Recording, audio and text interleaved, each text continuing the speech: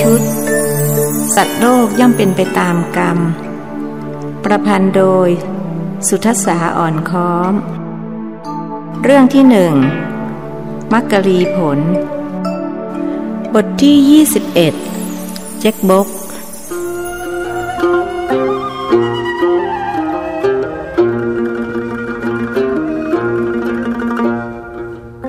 หนุ่มน้อยไปถึงที่นัดหมายตรงท้ายตลาดเวลาหกโมงเย็นพอดิบพอดี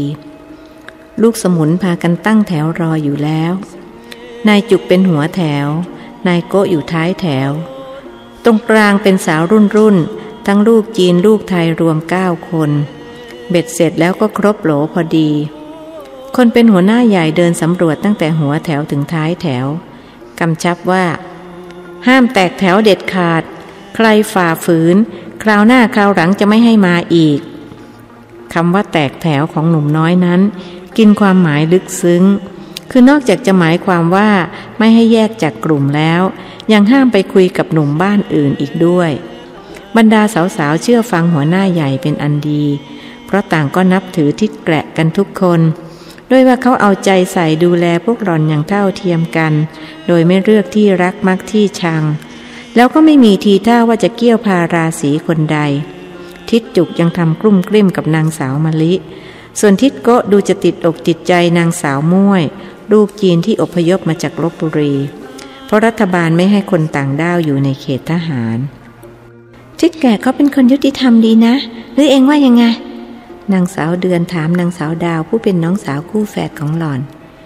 ข้าเห็นด้วย นี่ถ้าเข้ามาเกี่ยวเองเองจะว่ายังไง น้องสาวถามบ้าง หล่อนเองก็แอบนิยมชมชอบทิดแกะอยู่เหมือนกัน เขาไม่เกี่ยวค่ะล็อกขืนทำอย่างนั้นพวกเราก็หมดความนับถือกันนะสินางสาวเดือนตอบเลี่ยงไปอีกทาง ทิดต่างว่าเขามาเกี่ยวล่ะ เองจะยอมเป็นคู่รักกับเขาหรือเปล่า น้องสาวถามอีก เองอย่าถามอะไรบ้าๆประเดี๋ยวเขาได้ยินเข้าข้าจะเอาหน้าไปไว้ที่ไหน พี่สาวว่า รู้สึกร้อนๆที่ใบหน้าเพราะความอาย อันที่จริงหล่อนแอบรักหนุ่มน้อยมาตั้งแต่แตกเนื้อสาวใหม่ๆ ยิ่งได้รู้ว่ายายของทิดแกละร่ำรวยที่สุดในตำบล หล่อนก็ยิ่งสนใจ อ้าวสองพี่น้องฝาแฝดอย่าโมคุยสิ เขาจะไปกันแล้ว สำรวจตรวจตราเสื้อผ้าให้ดีล่ะ รัดเข็มขัดให้แน่น ๆ เกิดเดินเดินไปผ้าสิ้นหลุดแล้วก็อายก็ตายเลย เขานึกไปถึงภาพที่ผู้ใหญ่จำยืนสูบตะเกียงเหยงเหยงกางเกงแพรหลุดลงมากองยังไม่รู้ตัว แล้วทิศจะให้ไปด้วยหรือเปล่า สาวหนึ่งถามขึ้นด้วยอยากพูดกับหนุ่มน้อยเนื้อหอม ถ้าเองกล้าไปก็ตามใจเอง หน้าของเองไม่ใช่หน้าของข้านี่ว่าหนุ่มที่มีชื่อเล่นว่าแกละตอบ เฮ้ยแกละไปกันได้แล้ว ประเดี๋ยวไม่ได้นั่งแถวหน้าเงโกตะโกนมาจากท้ายแถว ไปก็ไป อ้าว หน้าเดิน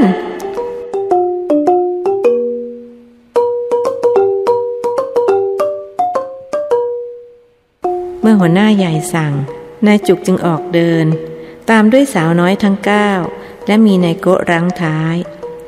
ส่วนหัวหน้าใหญ่ไม่อยู่ในแถว เพราะต้องสำรวจด้านหัวแถวบ้าง ท้ายแถวบ้าง เพื่อคอยดูแลความเรียบร้อย ครั้งนี้เป็นครั้งที่สามที่เขาคุมลูกสมุนไปดูลิเกสองครั้งแรกไม่ได้ซื้อขนมแจก เพราะลืมขโมยเงินยายไว้ล่วงหน้า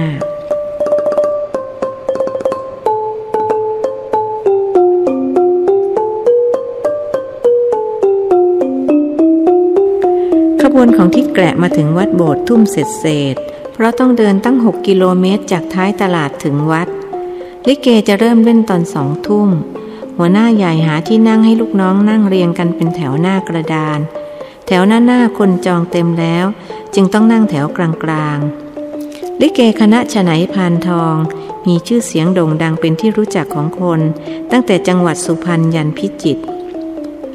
ยายเคยเล่าให้ที่แกะฟังว่า สมัยที่แม่จวนเป็นสาว ลิเกคณะชั้นผ่านทองกำลังเป็นที่นิยม แม่จวนเคยมาขออนุญาตยายไปดูลิเกบ่อยๆ กระทั่งได้รู้จักกับทิดพองและแต่งงานกันในที่สุด เมื่อชั้นผ่านทองแก่จนเล่นไม่ไหว จึงให้ลูกชายคือชนายรับมรดกแทน แล้วก็โด่งดังยิ่งกว่าชั้นผู้เป็นพ่อเสียอีก ใกล้หิวบ้างข้าจะไปซื้อขนมมาแจก หัวหน้าใหญ่ถามขึ้นข้าหิว ข้าก็หิว บรรดาสาวๆยกมือรานายโก้กับนายจุกซึ่งนั่งท้ายแถวกับหัวแถว ถือโอกาสยกมือกับเขาด้วย เอาละงั้นเจ้าจุกเองคุมแถวไว้ ส่วนเจ้าโก้มาช่วยข้าถือของ หัวหน้าเองก็รู้สึกหิวเพราะเดินมาตั้งหกกิโลเมตร ให้ฉันช่วยด้วยคนนัทิตนางสาวม้วยขันอาสา เพราะจะได้ใกล้ชิดนายโก้ทิดแกละตอบว่า ไม่ต้อง เองเป็นสุภาพสตรีนั่งเฉยๆ ประเดี๋ยวสุภาพบุรุษเขาจะบริการเอง พูดจบก็พาในโก้ลูกสมุนเดินออกไปซื้อขนม กระบวนขยันทำมาหากิน ไม่มีใครเกินแต่แปะบก ตอนกลางวันขายหมู ขายหมดก็เปลี่ยนมาหาซื้อขวด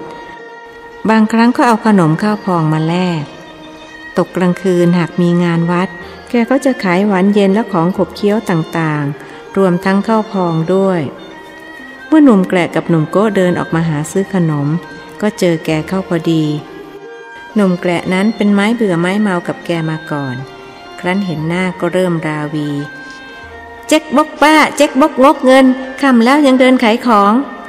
แต่แป๊บกได้แต่ยิ้ม แกไม่รู้สึกโกรธเคืองหนุ่มน้อย ด้วยสำนึกเสมอว่าเขาเป็นเจ้าของแผ่นดิน ตัวแกเป็นคนต่างด้าวเท่ากับเป็นผู้อาศัย มีเพียงเสื่อผืนหมอนใบติดตัวมา เมื่อก่อนแกอยู่ที่รบบุรี เมื่อเกิดสงครามโลกเขาก็ให้คนต่างด้าวออกจากเขตทหาร แกจึงต้องอพยพมาอยู่ที่ตลาดปากปาง เขตจังหวัดสิงห์บุรี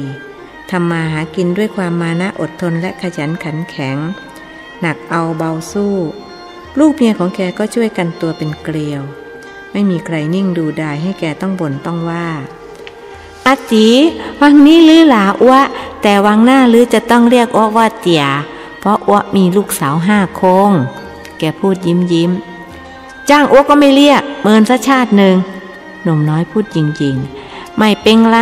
วังนี้หรือพูดอย่างนี้ แต่วังหน้าหรือจะพูดอีกอย่างหรือจะต้องเรียกอ้วว่าเตียแกย้ำให้อ้วตายซะยังดีกว่าให้ไปเป็นลูกเขยหรือพูดอย่างรู้สึกขัดเคือง เรื่องอะไรเขาจะต้องไปเป็นลูกเขยคนต่างด้าวอย่างแก ลูกสาวอ้วสวยนาอาจีนา แกยั่วอีก เรื่องของลูกสาวลือไม่ใช่เรื่องของอ้วเอาละอ้วไม่อยากเถียงกับลือเอาหวานเย็นมาให้อ้วสิบสองแท่ง ข้าวพองสิบสองอัน แต่แป๊ะปกมองหน้าหนุ่มน้อย นึกเสียวๆว่าคงจะต้องขาดทุนอีกเป็นแน่ เพราะแกถูกเขาแกล้งเป็นประจำหนุ่มแกละเหมือนจะรู้จึงว่า เธอหน้า โอ้มีเงินจ่ายก็แล้วกัน ว่าพรางควักสตางค์เหรียญทองแดงออกมาเต็มกำมือ แต่แปะบกจึงจัดการห่อขนมเข้าพองให้ตามที่เขาสั่ง แล้วหวังเยงหรือจะถือยังไงหมกล่ะ แกถาม ก็เพื่อนอ้วที่มาด้วยนี่ไงจะช่วยถือ เขาชี้มาทางในโกะซึ่งยืนมองตาปริบๆไม่พูดไม่จา ได้ของแล้วเขาจึงถาม กี่สตางค์ หนึ่งบาทแปดสิบสตางค์หวังเยงอังละสิบสตางค์ข้าวพองอังละห้าสตางค์หนุ่มแกละหยิบเหรียญทองแดงมีรูกลมตรงกลางเหรียญละห้าสตางค์และสิบสตางค์ส่งให้แกอย่างละสิบสองเหรียญต่แป๊ะมีความรู้สึกเหมือนฝันไป แกนึกในใจว่า สงสัยวังนี้ฝงจะตกอาจีมังไม่โกงอ้วจ่ายเงินเสร็จ หัวหน้าใหญ่จึงนำไปแจกลูกน้อง เมื่อได้ครบทุกคนแล้วจึงสั่งให้กินพร้อมๆกัน ครั้นตัวเขากัดวันเย็นไปได้คำหนึ่ง และกำลังจะกินข้าวพอง ก็เห็นเด็กหญิงอายุราวๆห้าขวบ ยืนอ้าปากหวอดูเขากิน จึงยื่นหวานเย็นกับข้าวพองให้ ทั้งที่เสียดาย เด็กหญิงรีบยื่นมือมารับของ แววตาไร้เดียงสามองเขาอย่างรู้บุญคุณ แล้วจึงกินขนม อร่อยไหมเขาถามอย่างนึกเอ็นดู เด็กหญิงพยักหน้าแทนคำตอบ แกกินขนมไปอย่างละครึ่งก็หยุด อิ่มแล้วหรือทำไมไม่กินให้หมดล่ะ คนให้ขนมถาม จะเอาไปให้น้อง แกตอบแล้ววิ่งไปหามารดา ยื่นขนมให้เด็กชายวัยสามขวบที่นั่งอยู่บนตักของผู้เป็นแม่ หนุ่มน้อยรู้สึกประทับใจกับภาพที่เห็น ไม่นึกเสียดายขนมอีกต่อไป ทิศข้าแบ่งให้ครึ่งหนึ่ง นางสาวเดือนผู้ซึ่งแอบมองอยู่นานเอ่ยขึ้น หล่อนยิ่งพึงใจในตัวเขาเป็นร้อยเท่าทวีคูณ ไม่ต้องหรอกเองกินเถอะข้าอิ่มแล้ว เขาปฏิเสธและไม่รับข้าวพองครึ่งอันที่หล่อนยื่นให้ รับไปเถอะอย่าให้ข้าต้องเสียน้ำใจเลยนะทิดนะ สาวน้อยขยันขยอ พวกสาวๆที่กำลังก้มหน้าก้มตากินอยู่เริ่มหันมามอง ทิดแกะจึงพูดตัดบทขึ้นว่า รีบๆกินข้าวลิเกจะออกแขกแล้ว ประเดี๋ยวถ้าใครปวดท้องเบาจะได้ลุกไปตอนนี้เลย ลิเกเล่นแล้วห้ามลุกไปไหนเด็ดขาด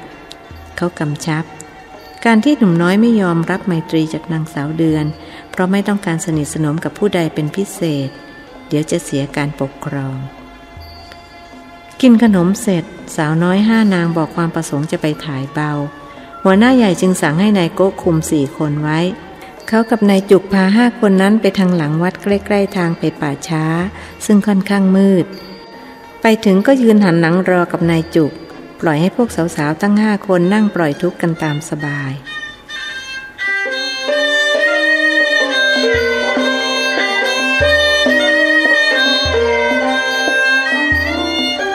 ลิเกคณะฉไหนพานทองออกแขกเมื่อเวลาสองทุ่มตรง ทิดแกระรู้ได้ทันทีว่าวันนี้ลิเกจะเล่นไม่สนุกเท่าที่ควร เขาชำนาญเรื่องดูลิเกถึงกับตั้งเป็นสูตรได้ว่า ลิเกจะเล่นดีหรือไม่ดี ต้องดูตอนที่ออกแขก ถ้าออกแขกดีก็เล่นดีตั้งแต่ต้นจนจบ ถ้าออกแขกไม่ดี รับรองว่าเล่นไม่ได้เรื่อง แล้วก็จริงดังที่เขาคิดค่ำคืนนี้เล่นเรื่องสังทอง ตอนพระสังกับหกเขยไปหาเนื้อหาปลา เล่นไปได้ครึ่งเรื่อง คนดูก็ชักเบื่อทำไมวันนี้มันถึงเล่นไกลๆฝืดๆอย่างนี้วะ เสียงผู้ชายคนหนึ่งบ่นดังๆ ทิดแกละจึงคิดหาสาเหตุว่าเนื่องมาจากอะไร แล้วก็พบว่าคนทำปีพาดนั่นเองที่ทำให้ลิเกไม่สนุก เพราะแกเล่นตีไม่เข้ากับบทเลยสักนิด โกเองกับเจ้าจุกดูแลพวกผู้หญิงไว้ให้ดีนะ ข้าจะขึ้นไปทำปีพาดแทนอีตาคนนั้น ถ้ามีอะไรไม่ชอบมาพากลก็ให้ไปตามข้าบนเวทีโน่น พูดจบก็กระโดดขึ้นไปนั่งบนเวที บอกคนทำปีพาดว่าน้าข้าจะช่วยทำปีพาดให้น้าไปพักก่อนเถอะ คนทำปีพาดกำลังปวดเบา จึงวางไม้ไว้บนรางแต่โดยดี ขอบใจเองมาก ว่าแต่ว่าเองทำเป็นนะพ่อหนุ่ม ก็พอทำได้นะลองดูกันแล้วกัน คนพูดจับไม้ขึ้นมาถือ เป็นอันว่าลิเกเล่นสนุกอีกครั้ง เพราะหนุ่มน้อยทำปีพาดได้เข้ากับบท ไม่ว่าจะเป็นบทรัก บทโศก หรือบทตลกโปกฮาคนดูถึงกับตบรางวัลให้ ที่แกเล่นเก่งจังเลยจ้าข้าได้ยินคนดูเขาชมกันใหญ่ ว่าถ้าไม่เปลี่ยนคนทำปีพาดคงไม่ทนดูลิเกจนเลิก ทิดเก่งจริง ๆ นางสาวเดือนชมเปาะ เก่งจังพ่อหนุ่มแบบนี้เป็นหัวหน้าวงได้สบาย หญิงสูงอายุผู้หนึ่งเข้ามาแสดงความชื่นชม หนุ่มน้อยหน้าบาน หากก็ไม่เหลืองต่อคำชมนั้น ยายสอนไว้ว่า ดีใจหรือเสียใจมันก็เป็นอนิจจังทั้งนั้น กลับกันเถอะต้องเดินร่วมชั่วโมงกว่าจะถึง เขาชักชวนลูกสมุน หนุ่มสองคนกับสาวเก้าคนจึงจัดแถวอย่างรวดเร็ว แล้วเดินเรียงกันกลับเหมือนตอนขามา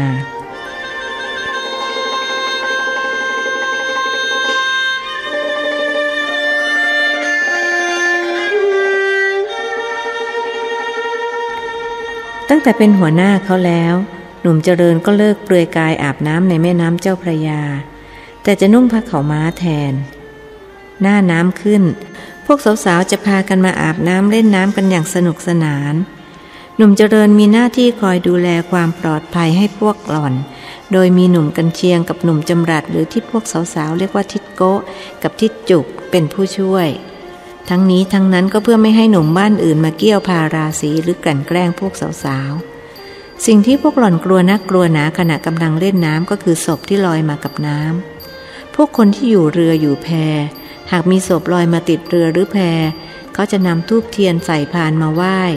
เอาผ้าสามสีมาผูกที่หัวเรือ แล้วกล่าวคำไพเราะเชิญศพออกไป ขณะกล่าวคำเชิญ ก็จะใช้ไม้ค้ำถอค่อยๆเขี่ยศพออกจากเรือของตน แม้ใจจะเกลียดและกลัว แต่ปากเขาจะพูดไพเราะ พูดแต่คำที่เป็นมงคล ในว่าเป็นการแก้เคล็ด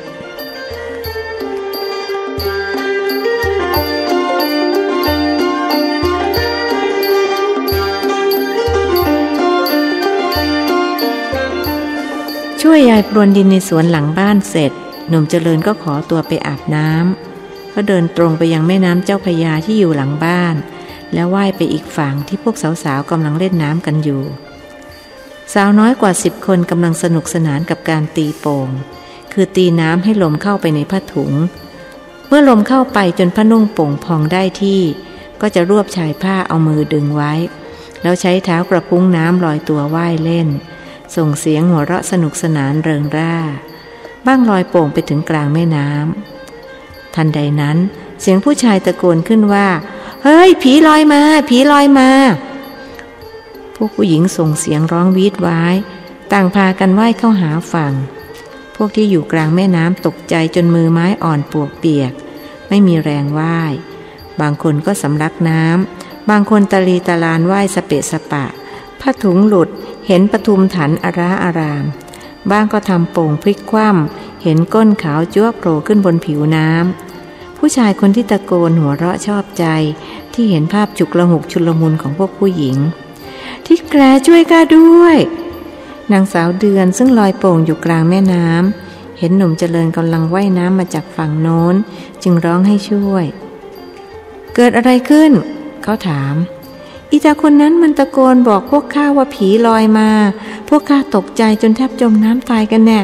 ที่ช่วยดูทีสิว่า ผีมันลอยมาทางไหน ผีเผลออะไรข้าไม่เห็นมีสักหน่อย เองตั้งสติให้ดีไม่ต้องกลัว แล้วเขาจึงตะโกนว่า พวกเราไม่ต้องกลัวไม่มีผีลอยน้ำมาแต่อย่างใดรีบว่ายขึ้นฝั่งเดี๋ยวนี้ ได้ยินเสียงหัวหน้าใหญ่ พวกลูกสมุนก็ใจชื้น ต่างพากันว่ายขึ้นฝั่ง รวมทั้งนายจุกและนายโกะด้วย เหลือแต่เจ้าคนที่ตะโกนลอยคออยู่ หัวหน้าใหญ่ไหวไปหาเจ้าหนุ่มนั้นอย่างเอาเรื่อง ไอ้คนโฉเบ๊ทำไมเองทำอย่างนี้ เกิดลูกเต้าเขาจมน้ำตายไปจะว่ายังไง เจ้าหนุ่มผู้นั้นหน้าจ่อยลงไปถนัด ด้วยกลัวต่อสายตาและท่าทางเอาเรื่องของอีกฝ่าย มันเรื่องอะไรของเองล่ะ เขาทำปากแข็งถามออกไป เองพูดอย่างนี้แปลว่าอยากเก็บตัวใช่ไหม ใช่ไหม หนุ่มน้อยตะข้อหนุ่มต่างบางคเนดูแล้วว่าเจ้าหนุ่มผู้นี้ถึงจะผอมเก้งก้าง แต่ท่าทางคงจะแข็งแรง หากเกิดชกต่อยกัน แล้วเขาแพ้ก็จะอับอายขายหน้าพวกสาวๆ เห็นจะต้องออมชอมกับเจ้าหมอนี่เข้าไว้ก่อน จึงพูดเสียใหม่ว่าข้าล้อพวกมันเล่นนะ่ะ ไม่มีอะไรหรอก ความจริงเขาอยากเห็นตอนพวกหล่อนตกใจจนผ้าหลุดลุ่ย ได้เห็นปทุมถันได้เห็นก้นขาวๆเป็นบุญตาโกหกข้ารู้นะ ว่าเองมีจิตอกุศล คิดลามกจกเปรต รับมาเสียตามตรงดีกว่า คนถูกว่ารู้สึกเมื่อยด้วยลอยคออยู่นาน จึงว่ายเลี่ยงออกมาหมายจะเข้าฝั่ง ยังไปไม่ได้ ต้องพูดกันให้รู้เรื่องก่อน สั่งเสียงเฉียบขาด เจ้าหนุ่มผู้นั้นชะงัก เกิดรักตัวกลัวตายขึ้นมาเดี๋ยวนั้นข้าไม่ได้คิดอะไรจริง ถ้าข้าโกหกขอให้ฟ้าผ่าตาย เขาลงทุนสาบาน ไม่ต้องสาบาน เพราะเดี๋ยวเองจะต้องตายเหมือนยายมาเฟืองนะ เคยได้ยินเรื่องยายมาเฟืองหรือเปล่า เขานึกถึงเรื่องที่ยายเคยเล่าให้ฟัง ไม่เคย แกเป็นอะไรตายล่ะ คนถามสนใจ ก็ฟ้าผ่าตายนะสิ แกชอบสาบานอย่างเองนี่แหละทำผิดแล้วไม่ยอมรับผิด เที่ยวสาบานกับเขาไปทั่ว บอกขอให้ฟ้าผ่าตายก็เลยตายแบบนั้นจริง ๆ ขนาดนี้เขาไปแอบในโอ่งก็ยังต้องมอดม้วยมรณา ถูกฟ้าผ่าชีวาวายแวบเป็นประแปบปิ้งไปเลยคำพูดของหนุ่มน้อยทำให้หนุ่มต่างบางเกิดความกลัว จึงพูดว่า งั้นข้าขอถอนคำพูด ถอนคำสาบาน ดีมาก ทีนี้ก็บอกมาตรงๆ ว่าเองหลอกพวกนั้นเพื่อประโยชน์อันใด ข้าชอบดูตูดดูนมพวกสาวๆ ตอบเสียงอ่อยเอลามก หนุ่มน้อยด่า ด่าข้าเธอ มันเป็นสันดานของข้าไปเสียแล้ว ถ้าน้ำแถวบ้านข้าเวลาที่ข้าลงเล่นน้ำพวกสาวๆ มันไม่ยอมลงเล่นด้วย เพราะข้าหลอกจนพวกมันรู้ทัน เองก็เลยเปลี่ยนมาเล่นท่านี้ ถูกแล้ว เองช่วยแนะนำหน่อยว่าทำยังไงข้าถึงจะเลิกทำบ้าๆอย่างนี้ข้ารู้ว่ามันไม่ดี คนพูดรู้สึกศรัทธาในตัวหนุ่มน้อย หนุ่มเจริญมองหนุ่มต่างบางอย่างปรงอนิจจัง แล้วจึงสอนว่า เองก็คิดสิว่า พวกเขาเป็นพี่สาวน้องสาวของเอง ถ้าคิดอย่างนั้นแล้วมันยังอยากดูอยู่ล่ะ ก็คิดว่าพวกเขาเป็นแม่เองหรือเป็นยายเอง ถ้ายังไม่หายล่ะ เจ้าหนุ่มถามอีกก็แปลว่าเองเป็นโรคจิตวิปลาสคลาดเคลื่อน บ้าบอคอแตก ไม่มีใครก็ช่วยเองได้ ต้องปล่อยให้เป็นไปตามกรรม หนุ่มน้อยตอบเสียงดังฟังชัด